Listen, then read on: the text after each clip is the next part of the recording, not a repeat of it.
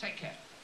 Right, we'll just have a nil-nil draw against Port Vale, and I also got the precision pre- precision tackler achievement uh, through that one.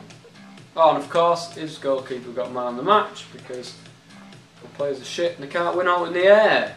Why can nobody win anything in the air? I'm, I'm struggling to understand why. It doesn't matter where on the pitch they are either. Strange. Right, I'm 10 point. I've got Johnstone's paint trophy now, which is two days after the two days fucking rest.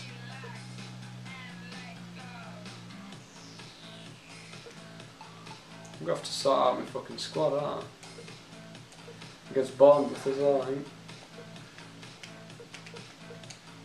Great, so it's to be my second team. Fucking awesome. As if it wasn't hard enough.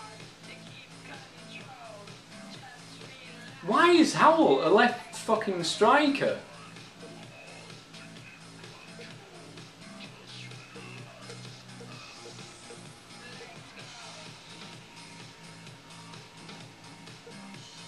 Fuck's sake. Can he play there or something? We'll soon fucking find out. The Johnstone's Paint Trophy match against Rotherham United, not Bournemouth. What am I on about?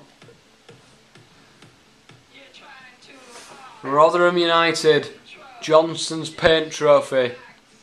Here we go.